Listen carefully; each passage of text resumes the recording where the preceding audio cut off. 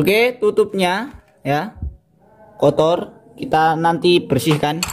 Kemudian kita bongkar di sini. Kancingannya ini kita tekuk ya.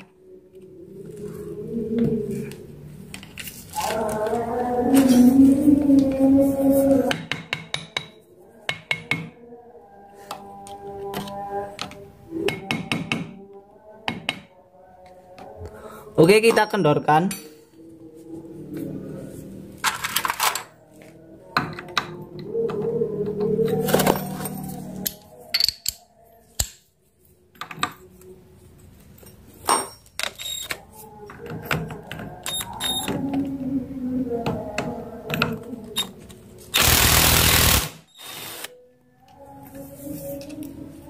Mur, kemudian ring, ring, kancingan. Nah, setelah itu kita juga lepaskan di sini. Kita cek semuanya ya. Kita kendorkan.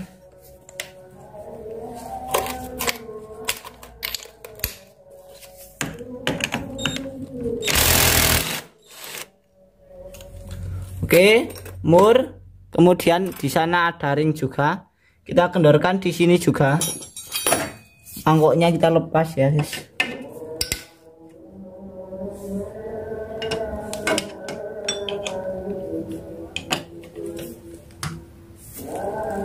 Wah keras banget guys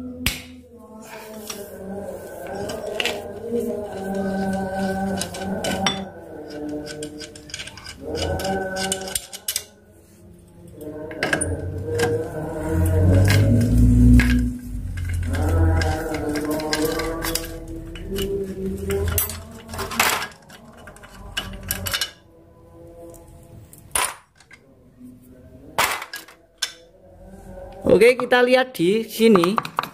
Di kampas ganda kita cek ya sekalian. Nah, kampas ganda habis ini sumpal. Kita ganti ya guys kampas gandanya. Kampas ganda berarti habis niat tipis. Loh, udah tipis. Kemudian loncengnya ini kita juga ganti guys. Ini loncengnya ber ini ada alurnya kayak gini tuh ini loh alurnya. Wajib ganti.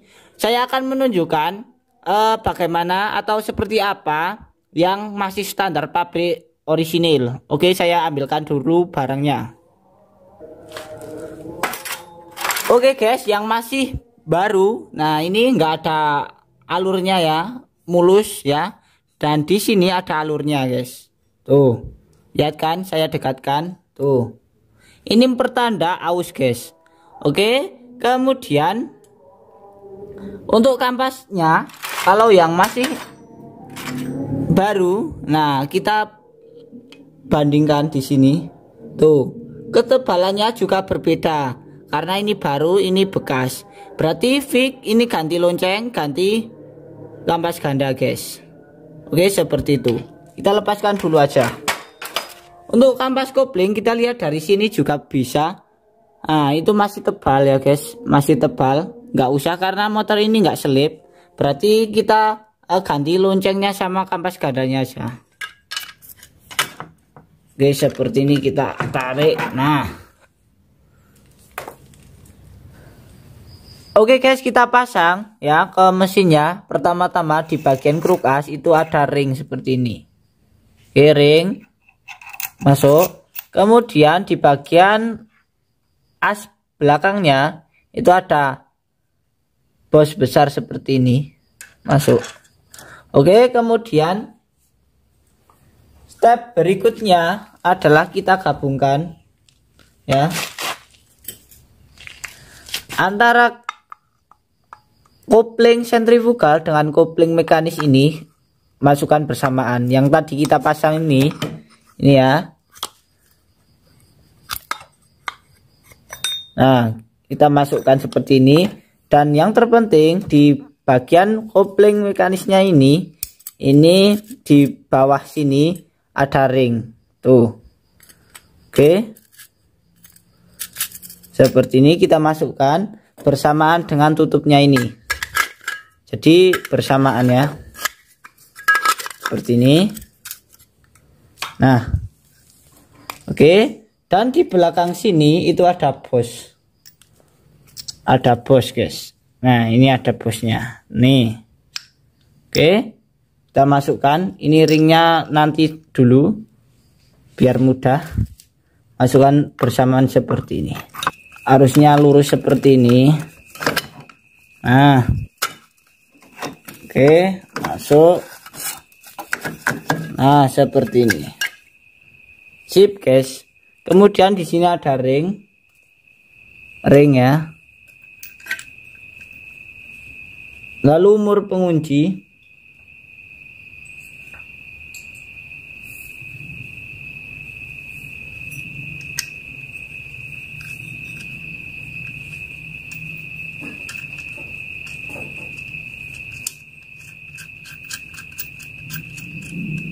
Oke. Kemudian di sini ada kampas ganda.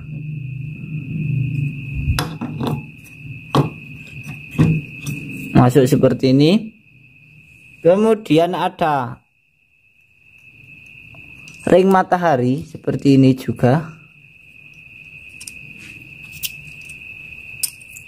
Masuk. Kemudian ring outside itu luar, jangan sampai kembali kemudian dikunci mur lalu kita kencangkan. Di sini ada kunci atau baut 10 guys. Oke kita mundurkan kamera agar tidak mengenai ya. Nah. Kita kencangkan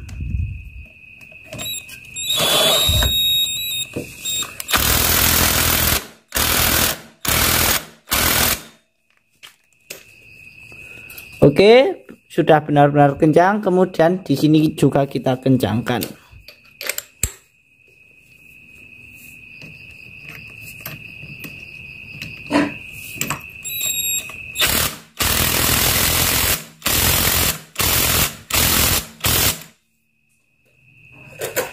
Lalu kita tekuk di sini. Ini kan ada ring yang seperti ini. Kita tekuk ke bawah. Fungsinya untuk menekan atau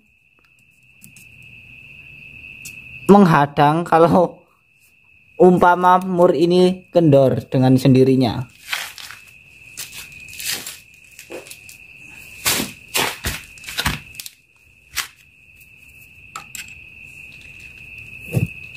Oke kita tekuk. Seperti ini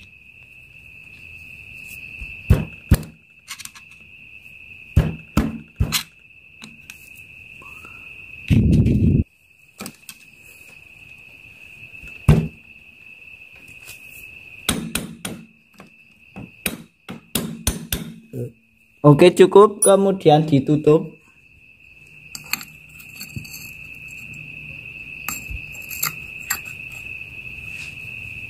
Lalu dikasih baut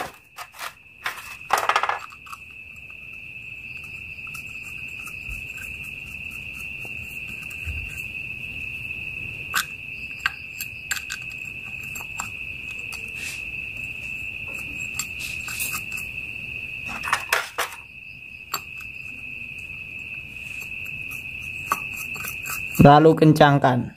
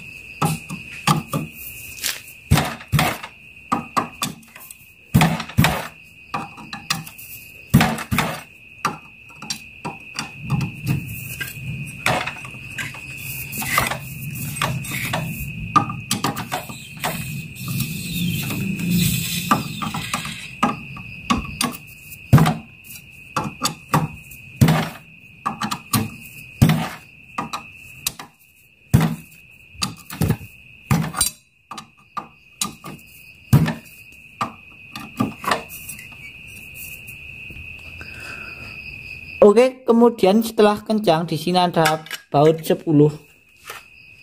Ya guys. 10 ini masuk di sini. Ini fungsinya buat apa? Fungsinya ini buat menggenangi apa oli kan tertampung sini kemudian olinya olinya tersebut itu menggenangi kampas kopling jadi awet kampas kopling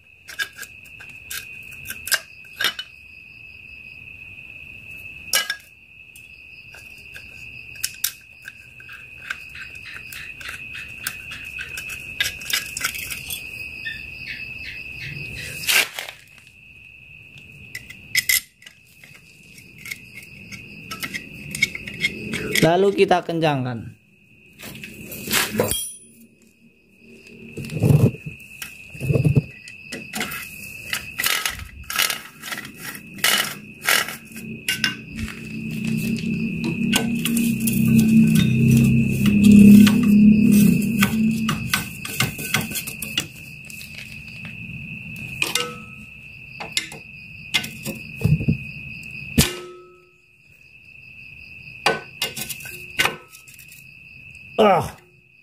kuncinya slack guys. Kemudian ada bearing di sini.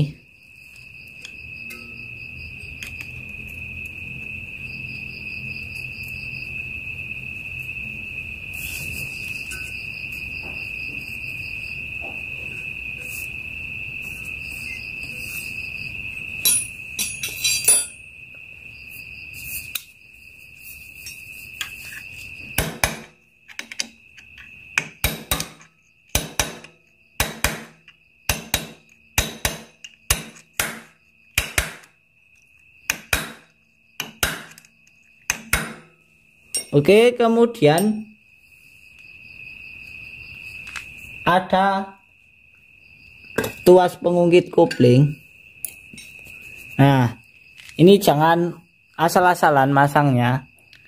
Di sini ada tanda titik. Ini tanda titik. Di sini wajib sejajar dengan garis ini. Ini ada garis. Nih. Garis. Tuh garis wajib sejajar dengan titik. Jadi pemasangannya wajib sejajar seperti ini. Nah, sejajar kemudian ini masukkan sini. Nah, seperti ini.